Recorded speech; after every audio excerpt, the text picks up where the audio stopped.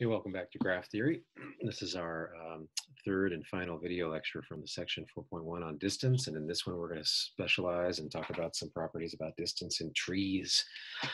so you can see the goals of the lecture there. We're going to look at several properties of trees. I just uh, clipped some from your book. We'll take a look at them. We won't prove them here in this lecture.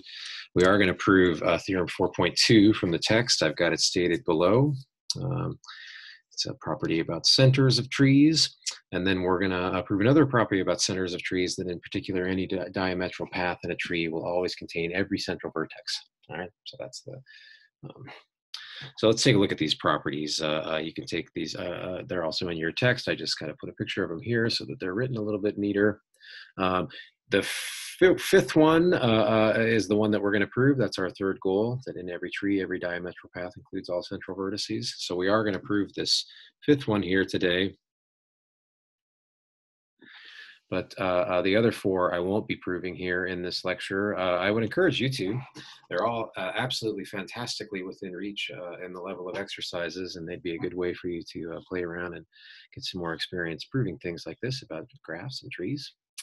All right, so let's take a look at the statement of this theorem 4.2 here. Uh, it was first proved by uh, Jordan in, in 1869, so it's not a new theorem, but let's take a look at what it says. So uh, if, if you take a tree, then the claim is that its center will always consist of exactly one vertex or a pair of vertices that are adjacent, uh, that there's an edge between them. So the center of a tree always has one vertex or two vertices that are adjacent. So uh, you can check check out the proof uh, in the book. It's basically the proof that I, am going to give here, but I'm, i tried to make it just a little bit more formal. I'm going to be uh, inducting on uh, the order of our tree. So my proof is going to be approved by induction, and I'm going to induct on the order of a tree. So uh, uh, let's start off here by taking a look at the a couple of base cases. If you have a tree of order one or two, well, I've drawn both possibilities here, and uh, uh, you can check it out, that the uh, center in this first case consists of the one and only vertex that's there. Uh, the eccentricity of that vertex is zero. So that graph has radius zero, diameter zero. The uh, uh, center is the periphery. It's absolutely uninteresting. In this graph, both of the two vertices have eccentricity one. So therefore, they are also both central and both peripheral, and the center of that graph consists of those two vertices. So that's what the theorem says. The theorem says that the center of a tree always has a single vertex, like the n equals one case, or two adjacent vertices, like the n equals uh, two case down here. All right? So now we got to carefully formulate our induction hypothesis. I'm going to do this by strong induction. So I'm going to say for some n that's at least two, that any tree, any tree of order k, well, k could be from any number between 1 and n. I don't know which one it is, and I don't care. I'm going to assume that all those trees basically satisfy the uh, hypothesis. They have centers that are a single vertex or a pair of adjacent vertices. Okay, so that's my induction hypothesis. It's important any tree of order up to n and is some number at least 2 satisfies this theorem. And then what have I got to do? Well, I've got to show that if you take a tree with order n plus 1, it's going to satisfy the theorem. So give me a tree with n plus 1 vertices. And um, let me denote by E, uh, uh, dangerously, because I don't mean all edges. I denote by E, it's a set of subset of the vertex set. It's all the leaves of the tree. Remember a leaf, it's just a vertex of degree one. So E is the set of all leaves. And, and we've proven uh, uh, uh, some things about this, right? We know that trees have at least two leaves. So that set E isn't empty. And I'm gonna define a new graph by uh, taking all of those leaves off of the tree T. All right, so I just remove all of the leaves. Uh, graph theorists call this pruning the tree, removing all of the leaves from T, uh, uh and, and we remember when we remove a vertex, we remove adjacent edges. So you're going to take away a bunch of leaves and the edges that were adjacent to them. Gives me a new tree. It's a new tree because uh, taking away uh, uh, these leaves can't introduce cycles and it also won't disconnect the graph. And, and because we have at least two leaves, this new tree, T prime, its order is less than n.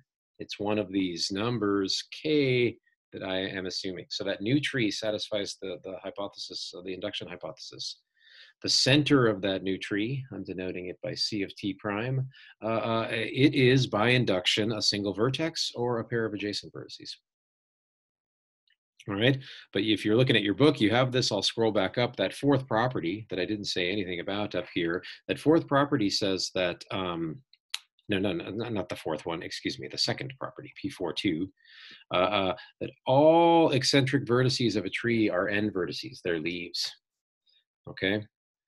So, so if you're an eccentric vertex in a tree, you have to be a leaf. So what does that mean? If I look at the eccentricities in this new tree of, say, a vertex, just writing E of V like we do for eccentricity, and I put a T prime there to tell you what graph I'm talking about. The eccentricity of that thing, well, uh, it has to be exactly one less than what the eccentricity of that vertex was in T, because in the in the tree T, V's eccentric vertex was a leaf, and we took that leaf away. So, so the eccentric vertex to V in the tree in the tree T prime is one closer. Okay, so so that that's the result of property P42. So so uh, uh, what does that mean? It means that the center won't change. If you're decreasing every single eccentricity by exactly one, then you're not going to change the ones that have the smallest eccentricity. So this new tree, the pruned one, T prime, uh, it's got the same center as T. So C of T uh, uh, uh, also has a center that's a single vertex or a pair of adjacent vertices. And since T was any tree of order n plus one, by induction, we've proven it for any tree. All right, so you can ask me questions about that. Uh, I won't chat about it too much here to keep the video short. Uh, I did draw a little example to show you what it would be like to, to prune a tree. So, so here, uh, uh, just real quick on the left-hand side of your screen there, I've got a tree called T. I didn't count its order, you can count it, but what I did write uh, uh next to every vertex is its eccentricity. All right, so I've colored uh, uh, the leaves of that tree red, so it's easier for your eyes to see them. and I've colored the two central vertices, the vertices of minimal eccentricity four, I've colored those things blue or excuse me, green. I've colored those things green. Here are your two uh, central vertices right there. All right, and then the tree T prime is, is over there, the pruned tree. Just uh, uh, delete the red vertices and the edges adjacent to them and you're left with that, well, it's actually a path, but, but it's a tree, T prime. Uh, and uh, I recomputed uh, the eccentricities and look, we, just like we proved, they all dropped by one. They all dropped by exactly one. Uh, uh, and so the two minimal ones, they're they're not minimally four anymore. They're minimally three, but they're still the, the two smallest. They're the, the central vertices. It didn't change. If we pruned that tree again, can you see see it would just sort of shrink the length of the path. Um, yeah, maybe I can do. I, I don't really have room to do it, but and then if you pruned it again, you'd be left with the case n equals two. Nice. Okay.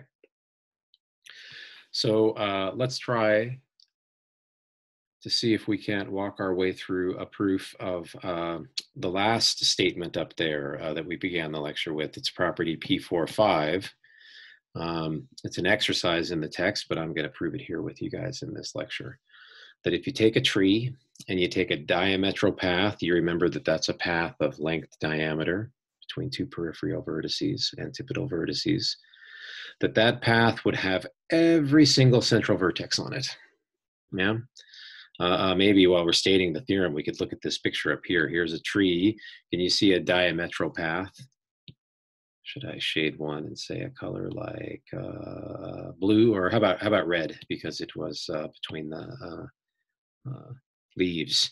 So the diameter of this graph at a glance is seven. I can pick two vertices of eccentricity seven and in a tree, there's exactly one path between them.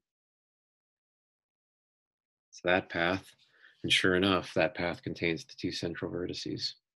The theorem, uh, uh, uh property P45 says that that is always the case. Maybe in an in-class discussion, if you want to join uh, live, we, we could talk about uh, uh, applications of this. There's some interesting applications, things, ways to think about what this means. Okay, well, let's get down to the business of proving it. so here we go. Take your tree and let's just give ourselves some short notation. Let's call its diameter D for shorthand and its radius R. Okay.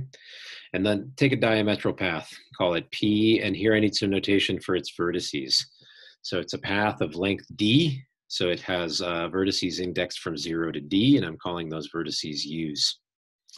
Uh, uh, let's pick some element on the center, some vertex in the center of the graph. Let's call it uh, uh, Z. And, and, I'm going to kind of proceed by contradiction and suppose that uh, Z is not in the edge set of this path. That's what I mean by that. Right, so I've drawn a little picture down here to kind of help you keep my, uh, my, thoughts organized, your thoughts organized. Here's my path P. There it is. Its vertices are indexed U0, U1, and so on. It ends with UD. Uh, and I've got this central point uh, Z. It's not on my path right? D is in the center. Remember that we called the uh, radius r, or z, excuse me, is in the center. So, so keep in mind that the distance from z to any other vertex in this graph is less than or equal to r. Right? That's because z is a central element. Its, its eccentricity is the radius. Its eccentricity is the radius, so you can't get further away from r. It's good to keep that in mind as we proceed through this proof. Okay, so here's a, a, a, first of many claims. I claim that there's a unique index I. You can uh, oops uh, uh, visualize it uh, right there if you want. There's a unique index I. Uh, uh, it's somewhere between zero and D. That the the Z UI path doesn't have any edges in common with the path P. All right, so you can kind of imagine what I'm talking about here. If I pick some of these vertices, uh, uh, I know in this tree that there's a path from Z to that vertex U1. And if that path doesn't have any edges, it's the only path. It's unique because we're in a tree. And if it doesn't have any edges in common with this path P, then U1 is the UI I'm talking about. But if the path that Z has to UI does have an edge in P, say it comes in along that edge, okay, well then UI cannot have another path from Z to it, or U1, excuse me, in this case. There can't be anything ending up at Z from U1 if it comes in along this way, because if there were, there'd be a cycle in the tree. So, so you just have to think about it that the paths from Z to, to this path P they either have common edges with P or they don't. And the one that doesn't is the one that hits the path first, quote unquote. And I'm, I'm going to call that UI. All right, so you can kind of visualize that in a copy of this picture that I have down here. Here's my UI. I've got my central vertex Z. I've colored them red. And there's a path from Z to UI, and it, it, doesn't have any other edges in common with uh, the path P. Uh, uh, and, and UI is unique because if there were other paths, we could cycles. All right, so I'm going to leave it at that and let you think about it. Um, so notation. Let me say that V is the vertex on that path, this ZUI path. You can see V right here. Uh, it's the vertex that's adjacent to Z. Uh, there has to be a first vertex along the path, and I'm just naming it V, and I'm going to name that edge ZVE just for shorthand. Um, yeah, v might be UI. It could be. Z could have been one edge away. But I, remember, I'm assuming that, that Z is not on the path P. All right? Cool. Moving on here. Claim two. Z is not a leaf. Z is not a leaf. It's not an endpoint out there. There has to be some other edge besides E that leaves Z. Because if there weren't, if there were no other edges, if Z is a leaf, let me just start to show you my proof here. I got the picture, I think, drawn. If if uh, uh, if z weren't a leaf, then this vertex v that I've colored blue there, it would be no more than r minus one units away from any other vertex. Uh, how do I know that? Remember, z itself is no more than r units away, and v and z are just one. So if z is a leaf, this is a better picture to be looking at this. If Z is a leaf, well, Z is one unit away from V. Everything else was uh, uh, R units away from Z, so it's no more than R minus one units away from V. That's all my uh, uh statement is here. All right. So uh, uh, that would mean that the radius of the graph is no more than R minus one. V might be a central element. That's a contradiction to what our radius is. Okay. So, so Z is not a leaf. The second picture down here is more accurate. There's at least some other edge leaving Z. Maybe, maybe there's more. I don't know, but there's at least some, some other edge leaving Z. Okay, good. We're doing good. Um, Let's move on. Third claim. You kind of see in the picture, there's some element in the vertex set, I'm going to call it y, some y in the vertex set that there's a the yz path uh, uh, uh, doesn't contain e, so it's not a path that starts out along v, and, and it has length at least r minus one. There's at least r minus one edges. So I claim that there's got to be some vertex in the graph that satisfies those conditions that, that you're looking at visually in the picture some path that leaves on something other than the edge E and makes it at least R minus one steps away, edges away, right? So why is that true? Well, Z is not a leaf. So I know that there's at least some other path. We already said that when I colored it red. Uh, there's some other path that's not, not along E. So, so if, if all such paths were of length no more than R minus two, yeah, if all such paths were of length no more than r minus 2. Visualize, you know, all such paths, sorry, uh, uh, you know, maybe there's a lot of them, but they're all within r minus 2 edges of z. Well, wouldn't they all be within r minus 1 edges of v? Yeah. Uh, and this other side of the tree, this other side, the other side from the edge E, they're all within R minus one edges of V as well because everything's within R minus edge or R edges of Z. So once again, in that case, if, if there were no such Y, we would kind of come to the same contradiction that we would get something that the, the radius was smaller. That's kind of the whole spirit of this proof is that if these things I want aren't true, then R wasn't really the radius at least so far in the proof. Let's save a surprise for you. Okay. So take such a path. We just proved that it has to exist, so I've got it. I've got a path that leaves Z not along E, it's at least R minus one edges long. And now let's think about this old index I that we got, the unique place where our Z path uh, along E hits, hits the path P.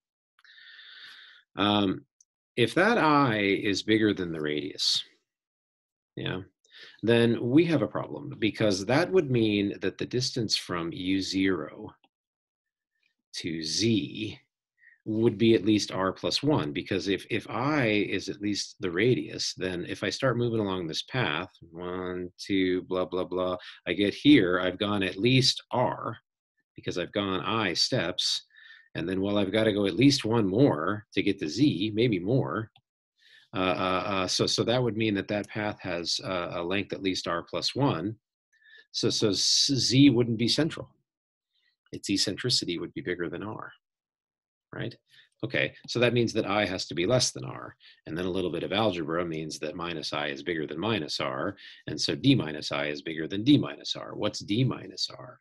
d minus r is this other side's length. That path over there has length d minus r. So once again, the distance, uh, oh no, excuse me, not once again, pardon me, not once again, but rather this time the distance from y to ud would be, well, uh, at least r minus 1 because of that's how far it takes to get to z. Remember, from Z down to the path UI is at least one. And then D minus R is at least what would take, or it's not, sorry, it's exactly what it takes to get over to U sub D. So we would get a path uh, uh, from Y to U sub D that was longer than the diameter of the graph.